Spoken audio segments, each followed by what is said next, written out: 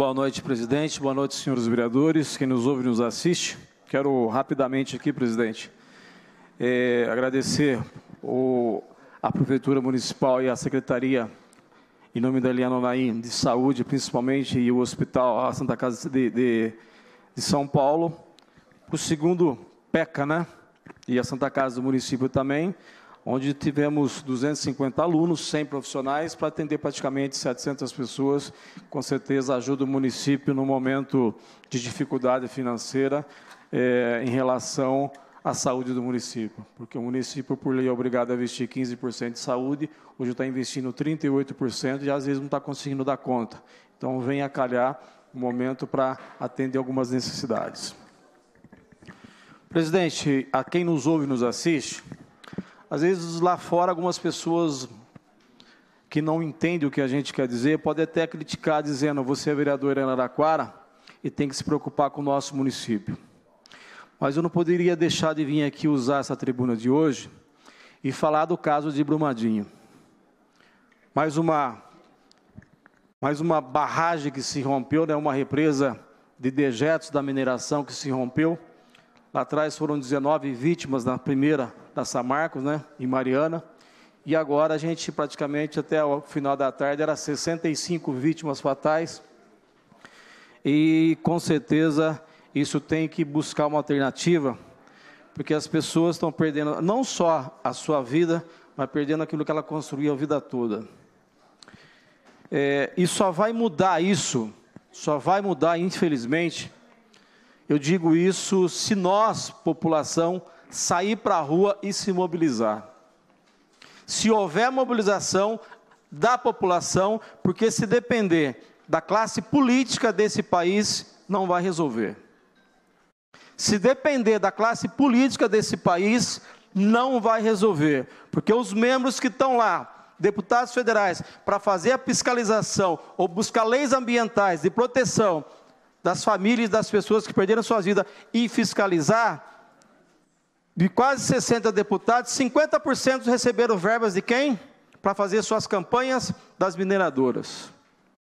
Receberam milhões de mineradoras, ou seja, nunca vai votar contra as mineradoras desse país.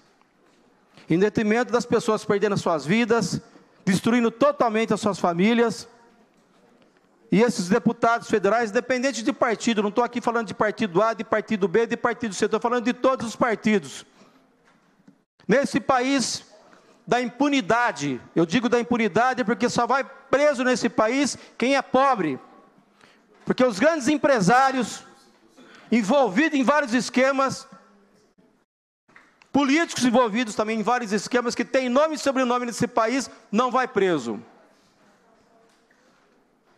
e ouvi do atual presidente da República, tomara que ele não faça isso, tomara que ele não faça isso, porque em entrevista ele disse que os órgãos de fiscalizações desse país é, multa muito essas empresas, não dando condições para essas empresas trabalharem, não dando condições para as empresas sobreviverem, tomara que ele não mude esse pensamento.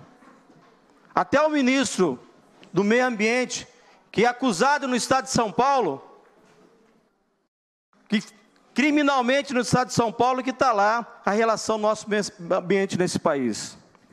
Espero que as leis desse país sejam realmente cumpridas para todos, não só para quem tem dinheiro nesse país, para todos. Porque em detrimento de ganhar bilhões ou milhões, várias pessoas, várias famílias sendo destruídas, várias famílias perdendo seus entes queridos. Tanto é com isso, está afrouxando. Está afrouxando o quê? A lei do agrotóxico desse país. Está afrouxando a lei do agrotóxico desse país, na nossa região aqui. Várias plantações de pequenos produtores, várias abelhas morrendo. Essa semana eu estava vendo uma reportagem que as abelhas dos cultivos da região do Rio Grande do Sul, que é um dos maiores produtores de uva, de vinho e uva do nosso país, estão sendo o quê? As abelhas estão morrendo. Por quê? É o uso abusivo de agrotóxico. Nós fizemos uma lei aqui nessa casa para proibir o uso de agrotóxico aqui na nossa cidade por aviação aérea. Não conseguimos passar nessa casa. Até que aconteça alguma coisa, de contaminação, de catastro, de várias pessoas virem a falecer ou outras coisas, aí sim cobra a responsabilidade do poder público. E nós, como agentes públicos, deixamos de votar leis importantes que afetam sim a vida da nossa população. Vocês têm noção o que aumenta na nossa região? O número de câncer da nossa região, o que aumenta a contaminação dos nossos córregos da nossa região, o nosso meio ambiente, a nossa fauna, a nossa flora sendo afetada. E a festa do agrotóxico cada vez mais vai aumentar. Por quê? E do, praticamente da bancada passada que estava lá de 513 deputados, praticamente 227, 230 deputados são o quê? Da bancada ruralista, que é a favor do agrotóxico nesse país. Tem que buscar alternativa para cuidar primeiro do planeta e da vida humana da vida animal, isso que precisa ser feito. Com responsabilidade, enquanto nós, seres humanos, não tivermos responsabilidade com o principal, principalmente que nós temos no nosso país e no mundo como um todo, que é o meio ambiente, nós, a população, e principalmente os nossos filhos vão sofrer muito. Hoje se briga muito nesse mundo pelo petróleo. Daqui a alguns anos, não vão brigar mais pelo petróleo, vão brigar pelo bem essencial dessa, desse, desse mundo, que é a água.